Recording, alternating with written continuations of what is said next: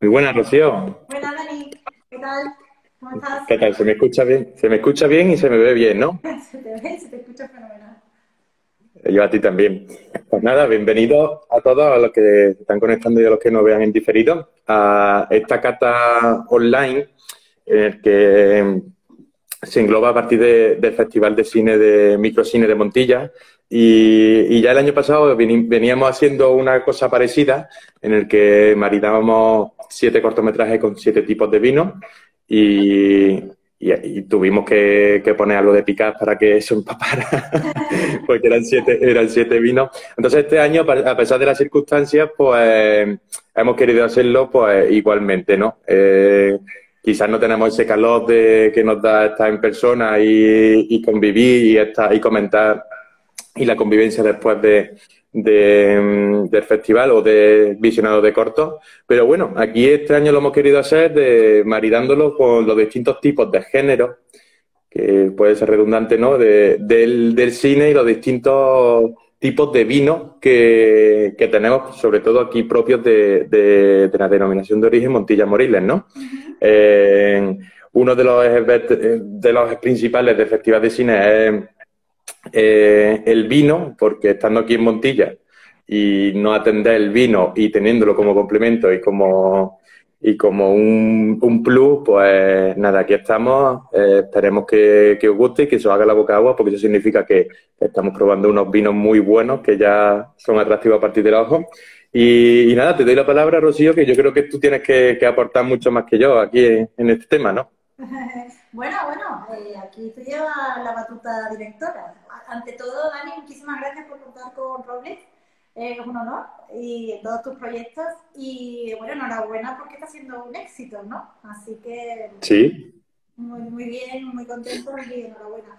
Bueno, eh, el objetivo también era un poco eh, relacionar, ¿no? El cómo poder relacionar que ese va a ser tu arte de cada uno de nuestros vinos clásicos de la zona de Montilla Moriles o de Córdoba, pues con, con estilos eh, de, de cine, ¿no?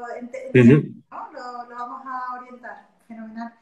Pues mirar, lo que tenemos delante hoy son cuatro tipologías de vino, eh, elaborados todos con la uva por excelencia nuestra, Pedro Jiménez, una uva con una piel muy finita, unas concentraciones de azúcares muy altas que llegan a fermentar pues, hasta los 15 litros de alcohol.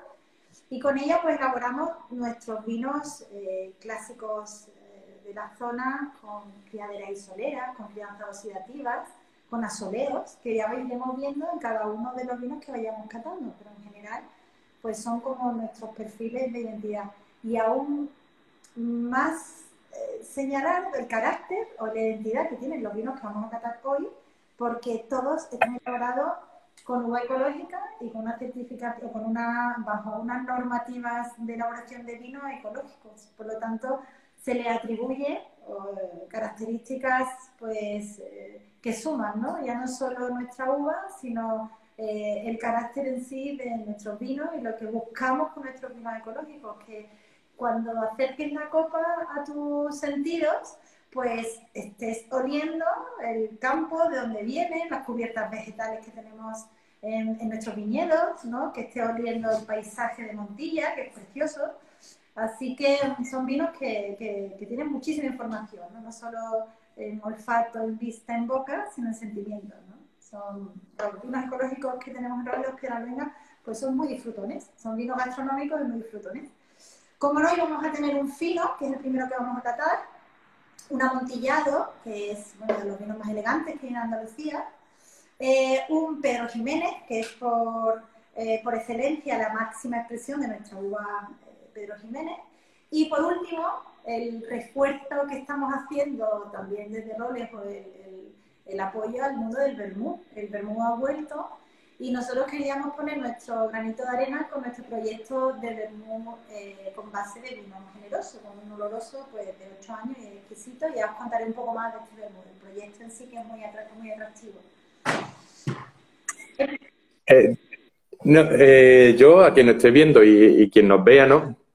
Yo, eh, a mí me gustaría compartir con que que puede parecer algo que no tenga mucha relación, ¿no? Que, vamos a hacer una cata y que vamos a vincularlo directamente con, los, géneros del cine. Yo hay una cosa que yo cuando bebo vino, lo comentaba el otro día con Francis, eh, una copa de vino te, te, recuerda, te crea imágenes, ¿no? A, a momentos, a, partir de, estímulos sensoriales, ¿no? De olor, el sabor.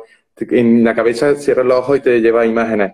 Entonces, yo invito a la gente que, que tenga imaginación, ¿no? Que se deje llevar por esos estímulos sensoriales y que, que, que, le, domine por completo la, imaginación porque puede llegar a ver eh, esa, esa, vinculación, ¿no? Yo tengo una suerte y es que al hacer otras catas que hemos hecho, ¿no? Eh, parecen cosas muy, muy que, que, no tienen mucha relación, por ejemplo, con los personajes de, de, un cortometraje, ¿no? Que hemos hecho vincularlos también.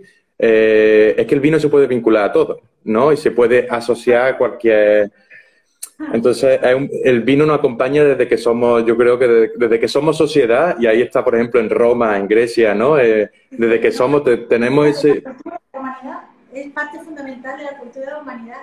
Y me encanta porque nosotros, después de tantos años, bueno, pues eh, abriendo nuestras puertas a interesados por nuestros vinos, eh, ya no solo las catas dirigidas puras y duras, estas que hablamos los enólogos de mira qué color, mira los aromas, sino las catas que generan de memoria, de recuerdos. O sea, había ah, un trabajo que hicimos de cuando hueles este vino, ¿dónde te transportas? Y, y, si vierais las historias de cada uno, es fantástico, son imágenes ¿no? que, te, que, te, que te, te hacen viajar por el inspirador que es el vino. En la cata del otro día con Javier Vargas, de la Vargas Blues Band, me encantó, porque hombre, es un artistazo, y, y él reconocía que el vino es una herramienta inspiradora, que él necesitaba una llave de inspiración y que el vino para él era, bueno, eh, uno de, de, sus pilares, ¿no? Así que es totalmente inspirador, sí, señor.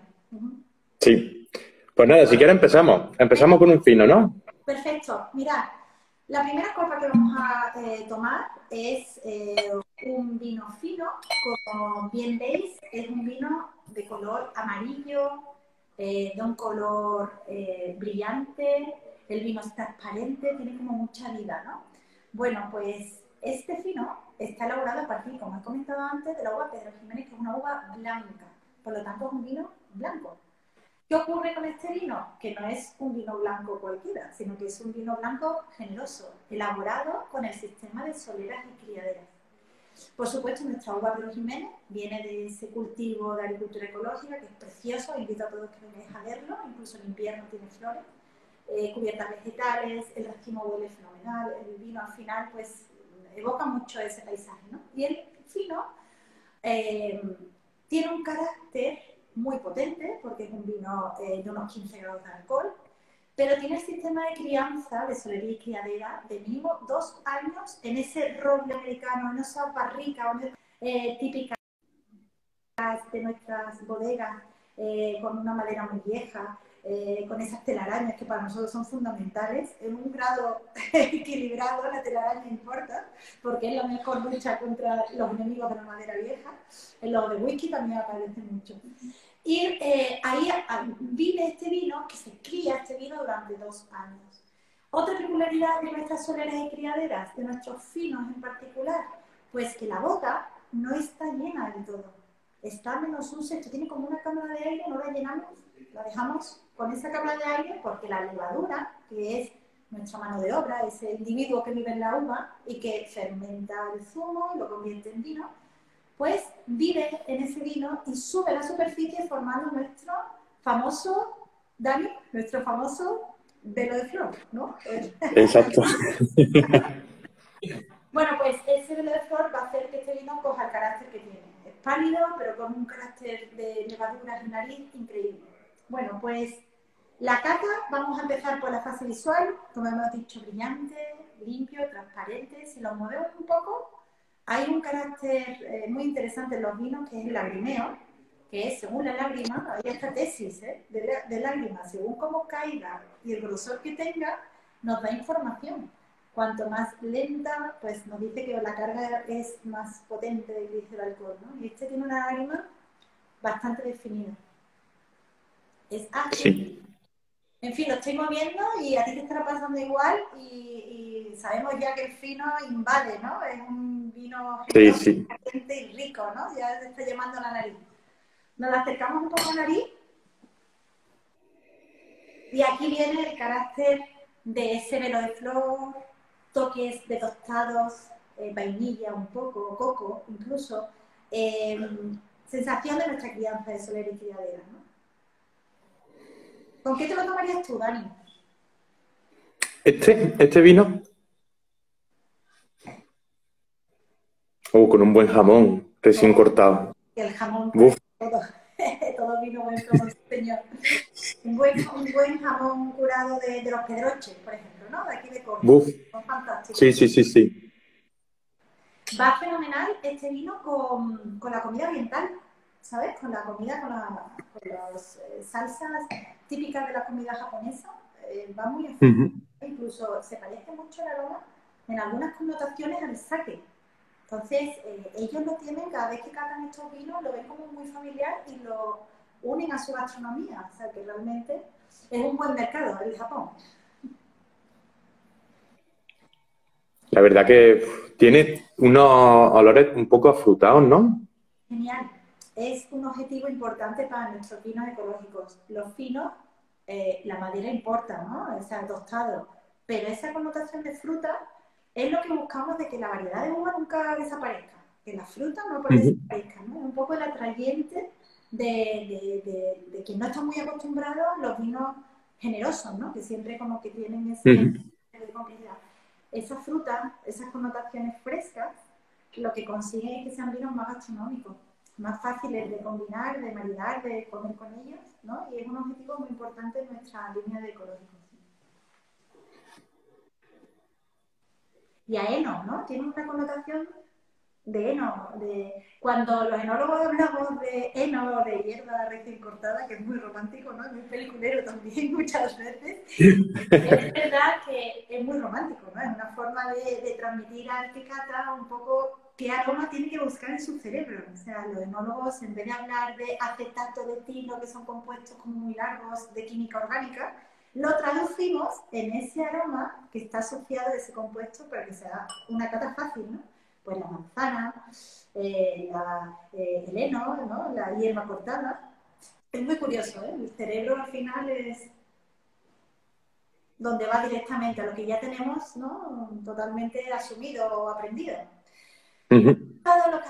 Eh, cuando has hablado de que hay que abrir la mente, ¿no? que hay que dejar fluir la mente cuando te encuentras delante de un vino, porque casi el 90% de los aromas que podemos sacar de un vino lo tenemos totalmente aprendido. Lo que pasa es que tu cerebro lo tienes como bloqueado y te da como eh, alguna vez incluso miedo, ¿no? De decir algo delante de un vino, pues a mí me huele, pues sí, hay que decirlo porque a ti te está oliendo a eso, ¿no? Claro, claro. ¿Pasamos a boca?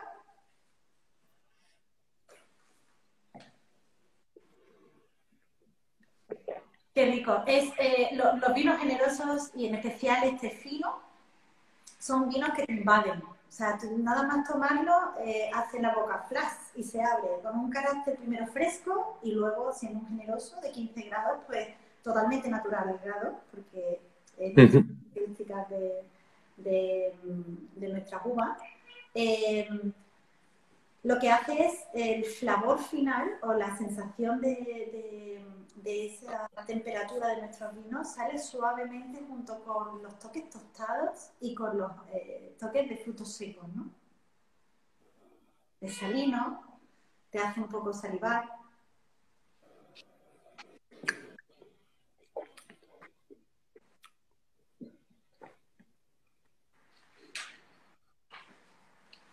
Es que está buenísimo. Está muy rico, ¿verdad? Y además que es como un vino muy joven, ¿no? Es como tiene connotaciones de vino con madera, con solera, con el velo de flor, tal, pero, pero es joven, es fresco, ¿no? Todavía te recuerda esas copas de vino. Además, interesantísimo, eh, el tipo de copa. Si habéis visto, no es catavino puro y duro. O sea, el catavino realmente es una herramienta del capataz. Es una herramienta que en la bodega te enfoca lo bueno lo malo. Pero lo que pasa es que es muy cultural de nuestros vinos. Todos los vinos del mundo necesitan esto, que se muevan, que se aireen. O sea, que necesitan todos eh, que sean, que se abran y se expresen, ¿no? Entonces, copas, aunque sean finos, olorosos y amontillados, eh, que sean eh, vinos, o sea, copas que se, que se hagan, ¿no? Que se leen. Si me permite, Rocío, yo, para vincularlo a un género, yo he estado dándole vuelta a la hora del de, fino, ¿no? yo creo que el vino por excelencia, aparte del Pedro Ximénez, es, fino, es de, Montilla. y yo cuando he traído mucha gente aquí de, de fuera, ¿no? Es fino, como que impacta, dice, wow, pero si esto es súper intenso, si esto es súper fuerte, es un vino que, te vuelca, ¿no? Como, hablando coloquialmente, ¿no? Sí, y yo creo que tiene que, necesita entrenar un poco el paladar, ¿no? Para saborear y apreciar este vino. Y yo lo vinculo quizás a, las películas de acción, de aventuras, de comedia, pero de culto no algo más mainstream, por decirlo de alguna forma, ¿no? Que lo consume y que eso pues que queda ahí, sino que compararlo con ese género de cine, que sería más un, género de culto en el que realmente necesita haber entrenado eh, la boca para entender realmente todos los matices que tiene este vino, ¿no? Y que necesita, pues, pues eso, que, que incluso se te queda, después de, después de consumirlo, se te queda eh, en el paladar y se te queda como saboreándolo. Yo, quizás lo vincule un poquito a ese tipo de cine, ¿no? que te hace pensar, que te hace, que, pasa...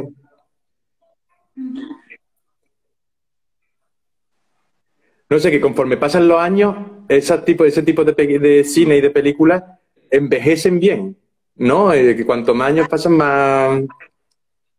Es que tal cual lo estás hilando con la tipología de vino en sí de la que estamos hablando. Nuestros vinos generosos son todos de cine de culto. Realmente todos tienen como ese sabor eh, intenso, largo, que tienes que saborear y seguir sacando ¿no? información una vez, una vez tomado o visto, ¿no? Me encanta. Me encanta sí, sí. contigo, David. La verdad es que a mí el cine siempre me ha encantado, pero claro, no, no tengo ese nivel, no tengo ese nivel. Tenemos que, que seguir. eh, pues si quieres, ¿pasamos al siguiente o quieres eh, comentar cuál? Venga. Ah, pasamos al siguiente. Lo iba a tirar, pero me lo bebo. Claro, para eso está, lógicamente, para el vino hay que beberlo, siempre comiendo, ¿eh? Nosotros hoy estamos aquí en casa, pero el vino hay que disfrutarlo con gastronomía, que para eso, sí. eso hermano, ¿no? van de la mano. Vale, a ver, ¿el amontillado? El amontillado. A ver, el amontillado es un vino a ver con qué tipo de cine me lo, me lo ligas, ¿eh? Porque es un vino bastante complejo, elegantísimo, y es producto de un del azar, en verdad, es de un no error se puede llamar, sino de sorpresas en bodegas, ¿vale? Eh, el amontillado es un vino elaborado en nuestro caso con uva ecológica, pero Jiménez procede de nuestro viñedo con cubierta vegetal, o sea que realmente te va a transportar a ese, a ese eh, paisaje. Pero como tal, es un vino que ha pasado media vida como fino, con crianza biológica, en soleras y criaderas, bajo ese velo de flor, y otra media vida con una desaparición de ese velo de flor y una crianza oxidativa, ¿no? Se está oxidando mucho más que cuando no tiene ese velo. Entonces, tiene, es como una transformación. Es fino y oloroso en un medio camino, haciendo un vino que es tan elegante que se volcó el mundo de la enología en crear una personalidad propia. El amontillado es una joya realmente, ¿no? Como bien veis, es de un color eh, brillante, ¿no? un ámbar, que tiene luz propia, tiene rasgos dorados. Si lo mueves, ya estás viendo que le cuesta un poquito, tiene bastante peso, tiene personalidad, ¿no? Intuimos que en boca va a tener un cuerpo importante. La lágrima es un poquito más notable que la anterior, más lenta es muy oculto, como tú has dicho, ¿eh? Lo voy a meter en mis catas en el momento oculto, ¿eh? Tiene muchísima intensidad. O sea, realmente no solo es historia de la viña que importan estos vinos, sino que también es historia del propio vino en madera, ¿no? Sí. Eh, si lo acercamos a nariz, aquí se transforma. O sea, el vino en la madera eh, tiene vida propia, el vino tiene vida. Es así. Es, un, producto del campo que, que va desarrollándose como, como, un ser vivo, realmente. Entonces, el amontillado tiene connotaciones de fino, de lo que hemos dicho antes, de pequeñas notas de, de, de, flor, tiene connotaciones de levadura, sobre todo este, que para nosotros la levadura es importantísimo, somos, que nos llamamos... Eh, que tenemos criaderos de, de, levadura, invernaderos de levadura realmente, porque eh, dan connotaciones al vino eh, fundamentales, un, una, ADN del vino realmente, ¿no? Pero también nos da información de la uva donde viene. Mm, tiene toques amielados, y eso que en boca es seco completamente, ¿no? Y tiene toques de miel. Y la elegancia de este vino eh, radica, o la joya de este vino, en el toque de avellana que, que, aparecen en los buenos amontillados, ¿no? Es una huella indescriptible.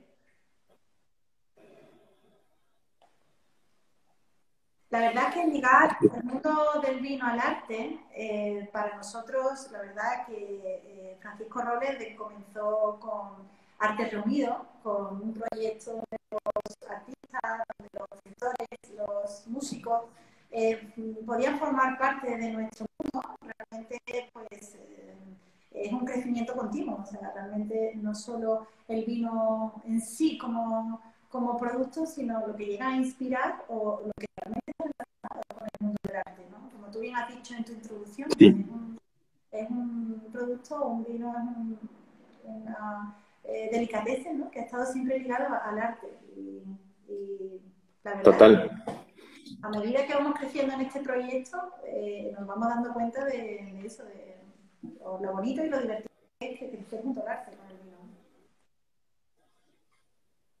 ¿Qué tal en boca? Dani, atrévete. A ver, pruébalo. Venga.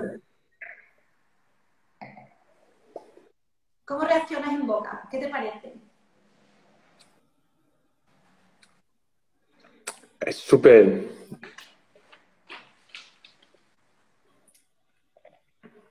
como muy ácido, pero a la vez, ¿no? Como lo que has dicho, ¿no? Entre medio camino, ¿no? Como entre fino y el oloroso.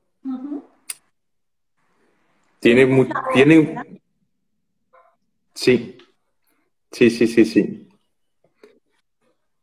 Yo, si me permite a la hora de vincularlo con un género de, de cine, has dicho una cosa que no, no lo tenía preparado, pero creo que Mm, lo vincula muy bien a justamente lo que, a lo que había pensado, ¿no?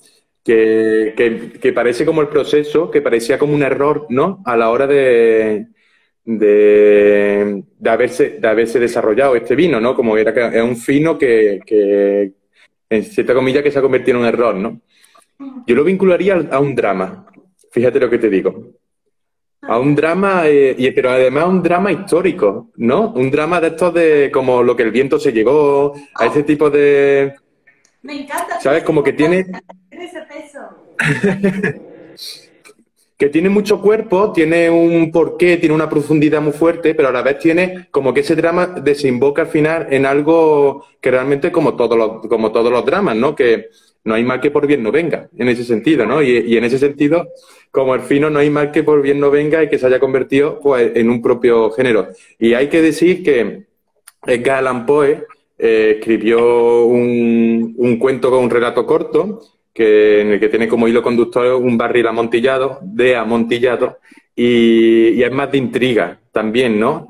Es justamente yo creo que esa sensación de cuando se ve cuando ese error del fino, en plan, esa persona que, lo ve por primera vez dirá, pero, pero ¿qué ha pasado, no? ¿Qué, está pasando aquí con, esto? Y se crea a partir de ahí un propio, un propio tipo de vino. Así que yo lo vincularía a eso, a un drama.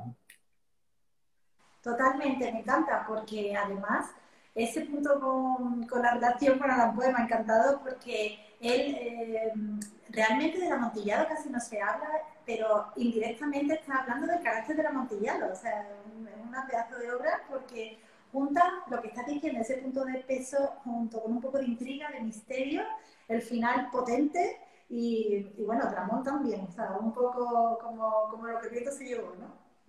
Sí, sí, sí, sí. En boca lo pasamos. ¿A boca? El vino actúa también, ¿no? Al fin y al cabo es un actor en boca y tiene una serie de sensaciones donde tu cerebro realmente también te, lleva directamente, ¿no? Por medio de, esa acción, esa actuación. Eh, ese punto que te has dicho es importantísimo, eh, el equilibrio con la madera, es, en especial este vino tiene una madera muy equilibrada para que sea fácil de tomar con un plato, por ejemplo, de alcachofas a la montillana, ¿no? que es fantástico plato gastronómico de aquí de la zona. ¿no? Sí. Fenomenal. Pues pasamos al siguiente. Al Pedro Jiménez, ¿no? Sí. Mirad, el, a ver, porque puede ser eh, el vino que más nos localiza geográficamente y especialmente Bodega Robles, pues eh, puedo decir que tenemos el Pedro Jiménez más premiado del mundo. Por lo tanto, para nosotros el Pedro Jiménez es un estandarte en nuestra elaboración, no solo por que sea ecológico, que es como el vino más ecológico de todos, ¿no? Como que viene del campo y no sino que lo tiramos al suelo en estructuras para que se asolee, se concentre todas las características virtuosas de la Pedro Jiménez, luego lo molturamos y sacamos como un jugo de pasas. O sea que realmente es como la esencia eh, concentrada de nuestra, de nuestra alma, que es la Pedro Jiménez, ¿no?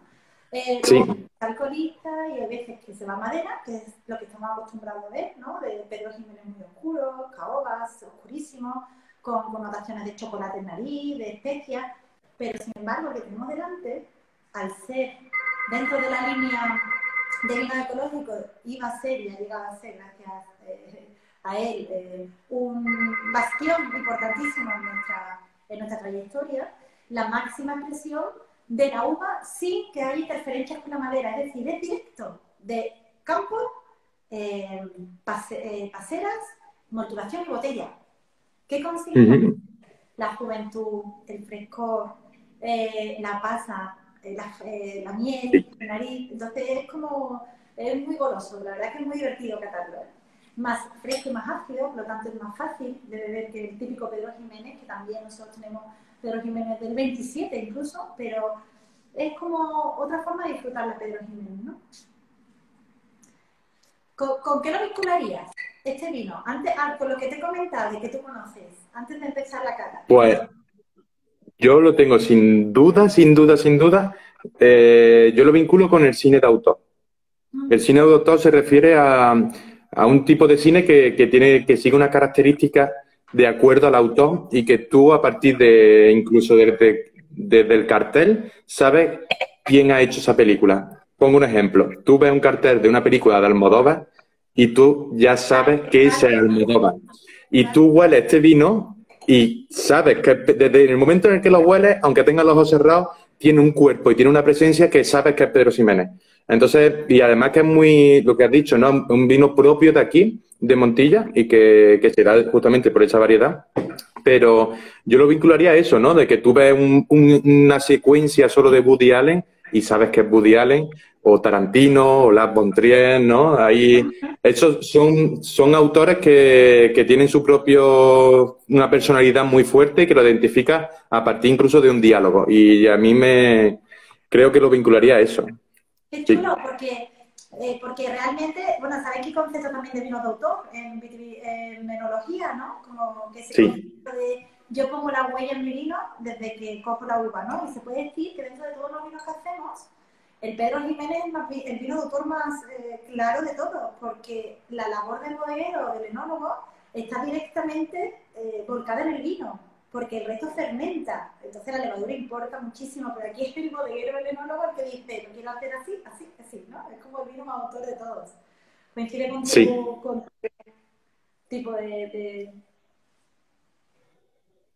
Pues mirad, como, como, lo estáis viendo, es un color, es muy parecido al amontillado, ¿eh? Un Pedro Jiménez que no tiene mm. crianza, como veis bien, el color es muy parecido, un ámbar brillante, con rasgos dorados, es como una bombilla. ¿Sabes? Desprende luz propiamente. Y es sí. los más premiados por eso mismo, sin que te conozcan muchos caladores internacionales, que a lo mejor no se han presentado ante un Pedro Jiménez, cuando se encuentran este primer Pedro Jiménez eh, sin crianza, la fase visual la puntúan altísima, pero por eso mismo, porque es un vino que, con ese nivel de glicerina, con ese nivel de azúcares que tiene, pues genera luz, ¿no? Es un, tiene una luz propia muy bonita.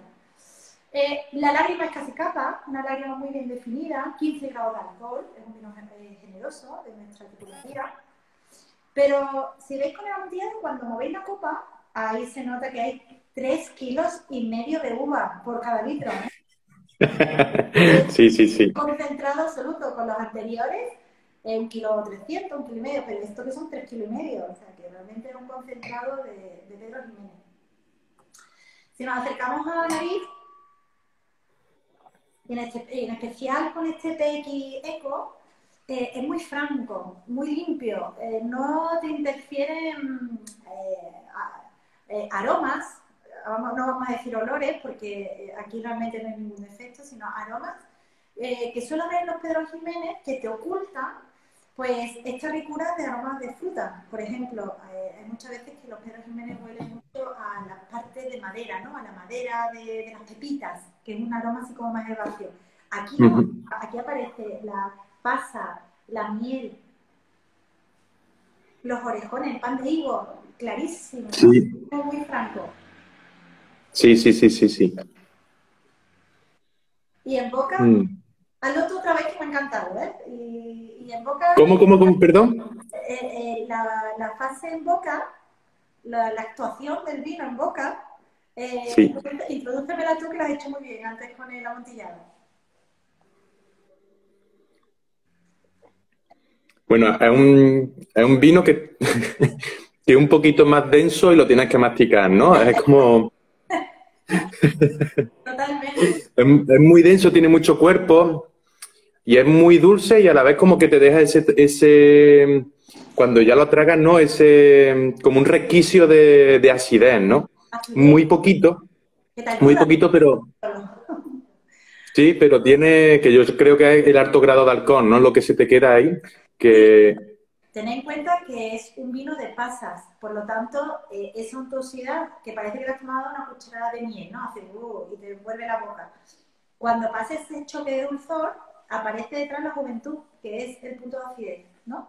Y el es la sensación cálida que sigues teniendo en boca, ¿no? Pero no entorpece con las sensaciones de uva varietal, la Pedro Jiménez, la miel, y las características suyas de pacificación y de juventud, ¿no? Entonces, realmente, una de las características más agradables de este Pedro Jiménez es que esa alcoholización que necesita, porque no fermenta, es un vino que es un zumo de una miel de pasas, necesita para los 15 grados que le echemos alcohol ecológico, no se nota aquí eh, la diferencia o, el choque ese de alcohol que te suelen dar los vinos y te echa un poco, ¿no? un poco para atrás y tal.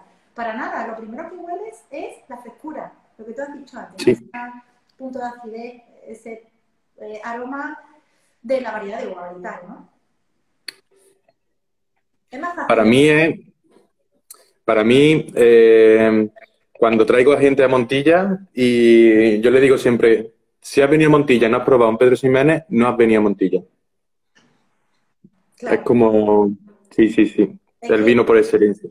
Eh, tal cual, como lo, estás, como lo acabas de decir, este que es un vino en el que no solo estamos viendo la, expresión máxima de la Pedro Jiménez, no solo estamos viendo ese punto de autor del bodeguero, del nólogo, sino que estamos palpando em, el medio donde se ha criado.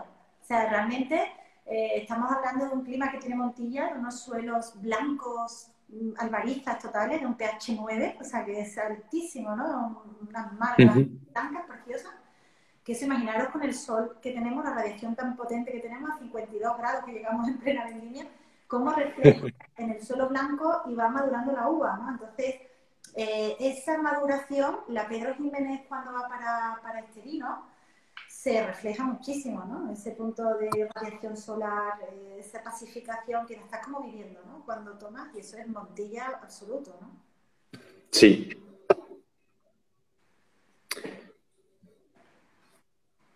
¿Con qué lo tomarías? Porque esto, este vino es muy asociado siempre a los postres, pero realmente, si lo piensas, dulce con dulce choca. O sea, eh, pudiéramos decir que es un vino que mm, pudiera tomarse solo, ¿no? ¿O con qué lo tomarías? ¿Con qué te atreverías a tomar un Pedro Jiménez? Nosotros tenemos, en mi familia, tenemos la, la, costumbre de meterlo un ratito en el congelador, ¿no? Y tomarlo como postre, ¿no? Un chupito.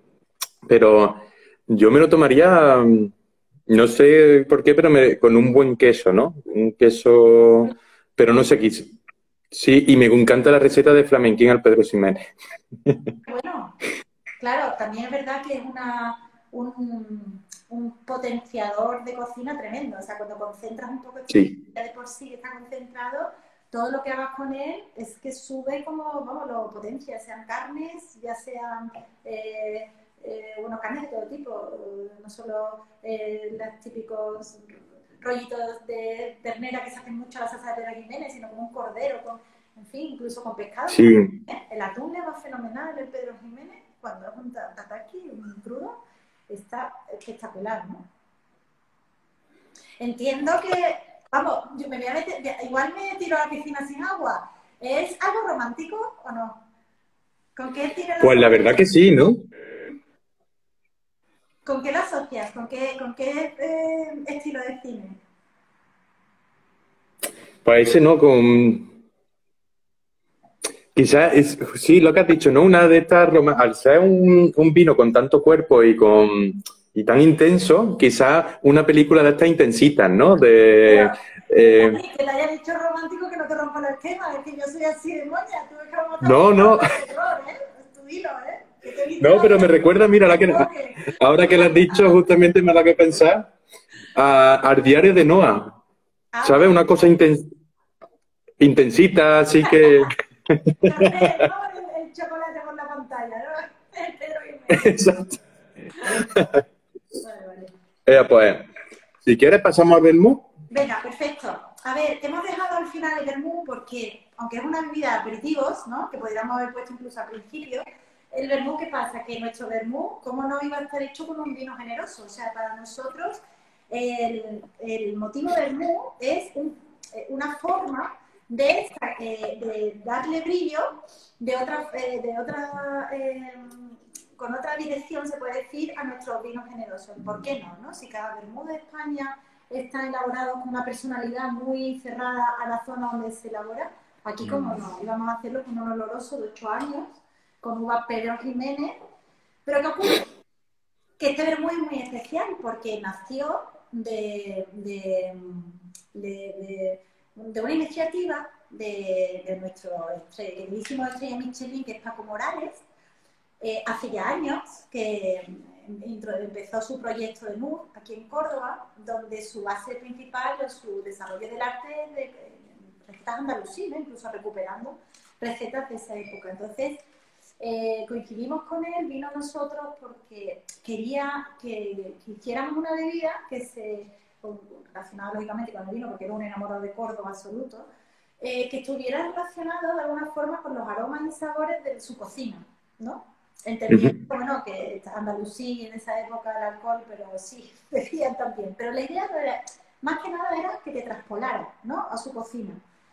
Entonces empezamos a pensar, lógicamente, nuestro oloroso como base, por esa profundidad que tiene aromas, el punto de madera, pero para que fuera vermouth tiene que ser una bebida eh, aromatizada o macerada, mejor dicho, con especias y darle tu personalidad, ¿no? Nosotros pensamos en canela, por supuesto, es una base fundamental que te traspola a, una judería, ¿no? Cierras los ojos y te vas directamente a la judería cuando tomas una copa de este vermú por la canela, por el clavo, por el punto de romero, que si nos vierais corriendo buscando romero por las cubiertas vegetales, para echarle a las pruebas, era para vernos a, todos los que estamos aquí. Y al final, pues conseguimos unas maceraciones incluso unas técnicas muy bonitas que estamos utilizando de maceración, incluso de infusiones. Infusionamos un poco lo que es ese concentrado macerado para luego enriquecer nuestro oloroso y hacer nuestro vermú. ¿no? El VRMT eh, tiene su sello de Paco Morales, él se enamoró y además lo huele y muy gracioso porque dice, no es que huela y me apetezca un plato de cordero, sino que es que huele al cordero directamente. Entonces, sí. son pequeñas connotaciones que nos, nos alegró muchísimo, ¿no? El vermú tiene un color del oloroso, un color caoba, brillante, con rasgos anaranjados. en nariz es un disfrute absoluto porque eh, disfrutan de ese carácter de nuestro oloroso que es, pues, uva Pedro Jiménez, con esas connotaciones de un poquito de nuez, ¿no? De cáscara de nuez, que es esa crianza sí. en roble americano durante muchos años. Pero aparece de repente el zas, la canela, el clavo, el romero, el ajenjo, ¿no? Todas las características del vermut.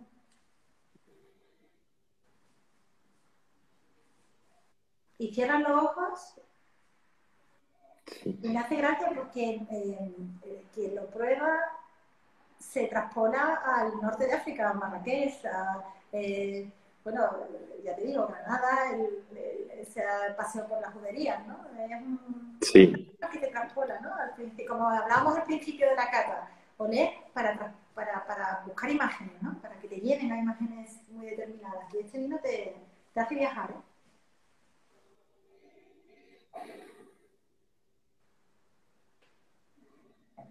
Qué rico está. Bueno, qué rico en, en olor. En sabor todavía no. Pero, uff, huele. Es increíble. Yo creo que es un vino que puede ser muy reflejo de, del festival, ¿no? Es como un sí. vino que, tiene esa potencia, esa información, pero también esa, esa, eh, explosión de sensaciones, ¿no? de A mí me recuerda, si me permite, al tipo de género al cine histórico, ¿no? Porque es un vino que mmm, yo lo huelo y, y como has dicho, eh, viajo al pasado. No es algo tan presente, pero que a la vez eh, creo que, que, va combinado, hay una combinación entre historia e innovación, ¿no? Que al fin y al cabo el cine de, el cine de época lo que transmite realmente es eh, coge conceptos del pasado, pero está hecho, las técnicas es totalmente innovadora con la que se están haciendo eso, ¿no? Las cámaras, grúas, todo, todo el entresijo que hay detrás de, una película de época es totalmente innovadora. Y yo creo que eso es lo que describe perfectamente este Bermú, ¿no? Que es como mirar al pasado para, para hacer el futuro en ese sentido. Y, me parece como eso, como que nada más que en el olor, ya te, ya te lleva, te crea como imágenes. como has dicho, te, te, lleva al norte de África, a, esa, ese momento de, de Al-Ándalus, ¿no? Y me, me transmite eso, ¿no? Sensaciones. La, la, frase de mirar, o estar en el pasado, mirar el pasado para, para, ir hacia el futuro, ¿no? Realmente es la esencia de, de, los vinos que tenemos, todos los vinos que tenemos delante, ¿no? Al final el productor ecológico, el viticultor ecológico, el que apuesta por la agricultura ecológica no deja de ser con esa premisa, ¿no? Eh, vamos a volver hacia el futuro, pero con un respeto, ¿no? Que, que se ve en el pasado, ¿no? Se puede recordar en el pasado. Este vino también lo que, lo que eh, tiene una característica es la, diversidad, ¿no? La diversidad, la, cantidad de connotaciones que tiene tan diferentes, ¿no? Eh, la cantidad de historias que tiene tan diferentes dentro de un vino, porque estamos hablando de ligar eh, crianzas con tipologías de campo, de, uva, con eh, especies que vienen de orígenes totalmente diferentes, ¿no? que se han expresado en el vino y que al final han creado pues, este vino que es tan eh, disfrutón y tan... En fin, puede ser tanto en un inicio de comida, de, de aperitivo, ¿no? que es el típico donde encaja el vermú, o yo lo veo incluso en copa de balón, sí. y disfrutar poco a poco de él ¿no? Mientras que estás en una charla o estás en que vaya saliendo todo lo que tienes, ¿Y con qué le darías el bocado? Además de con un buen queso, que la verdad es que todo lo que venga de oloroso y con toque de pedro Sí. No sé, últimamente soy muy aficionado de tomármelo con, con aceitunas partidas, de estas que están bien alineadas, ¿no? Claro, claro. Sí, sí. No sé, algo. Algo súper sencillo y súper, pero que, que joder, abre el apetito y, y, te hace como... Sí. Y es una demostración de, de beber un vino generoso, ¿no? En un momento determinado que te apetezca, pues yo te digo, puede ser tanto en aperitivos como incluso postre, porque eh, tiene un punto de dulzor, o ponerlo en, una, en un vaso chato con un hielo y un trozo de naranja, ¿vale? Como un tipo de clásico, ¿no? Pero que está hecho con un oloroso. O sea, que hay, seguro que de, los, que lo están oyendo, eh, tomarse una copa de oloroso a lo mejor la tienen como, como de palabras mayores, ¿no?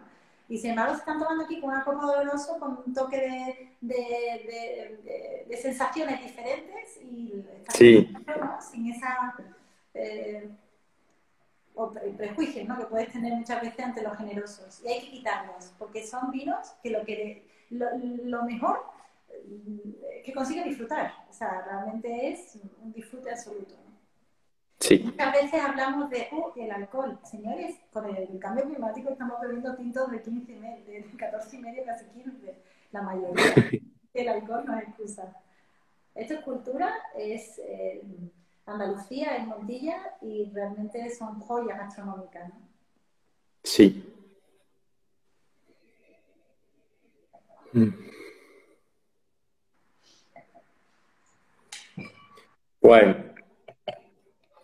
nada, ha sido realmente, eh, no sé, a mí me, enorgullece mucho vincularlo todo lo que hagamos en cuanto a cultura. Eh, me enorgullece mucho vincularlo al vino porque yo creo que si hay un sabor, eh, si alguien me preguntara qué sabe Montilla, yo diría que a los distintos tipos de vino que se pueden sacar de su uva, ¿no? Eh, y, yo creo que no hay que nunca que nosotros desde el Festival de Cine lo que intentamos es vincularlo y no especializarnos, sino decir, oye, Montilla se caracteriza principalmente por sus vinos y es su, su la punta de lanza, ¿no? Entonces, yo creo que hay que tomárnoslo en favor y que, que eso haga que, por ejemplo, para un festival de cine vaya maridado a través del vino. Recuerdo que el año pasado, con cada evento, todo, sea lo que sea, si era formación, si era un coloquio, si era una proyección, siempre terminábamos con una copa de vino en la mano, ¿no? Y eso hacía, pues, que, favoreciera mucho, pues, la conversación, la reflexión y, el análisis también, ¿no? Y eso me parece como que el vino está solamente vinculado al ocio, pero creo que también está vinculado mucho a la, cultura y la forma en la que tenéis eh, ver vuestra, desde Robles, eh, la perspectiva del vino, a mí siempre lo digo, no es ciencia. Y, y, yo creo que esta es una de ellas, ¿no? Que, pues el vino esté vinculado al cine, creo que, que está muy poco explotado y puede ser algo súper innovador y esperemos que, que sea un camino que, nos agarremos de la mano durante muchísimos años. Nada, Rocío, te quiero dar muchísimas eh, gracias porque has dedicado una horita de, tu tiempo a, compartir con nosotros pues todo lo que sabes, que es siempre un placer. Y, nada, esta es la última. Esta es la última acción que tenemos desde. Dani, gracias a ti. Eh, decirte que es un honor para el mundo del vino también que, tú nos no estés dando eh, la mano para introducirnos en el cine, que realmente está siendo un proyecto precioso y del cual estamos cada vez más ilusionados, sin duda. Y esperemos que seamos punta de lanza para, para lo que tú has dicho, ¿no? que el vino pues, pueda ser un poco más eh, unido al del cine o que, haya proyectos de este tipo. ¿no?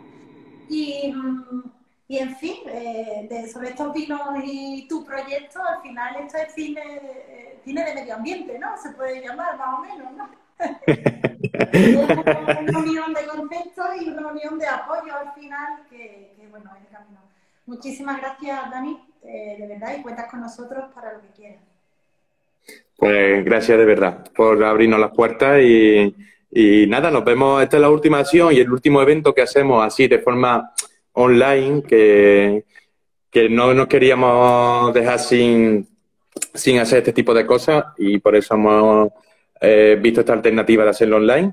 Así que nada, nos vemos el año que viene y esperemos que nos veamos, que nos toquemos, que nos abracemos, siempre con una copa de vino en la mano, como en este caso de Bermú. Exacto. y, por todos. Eh, que tengamos mucho ánimo y que el festival sea, bueno, es un éxito y que siga siéndolo.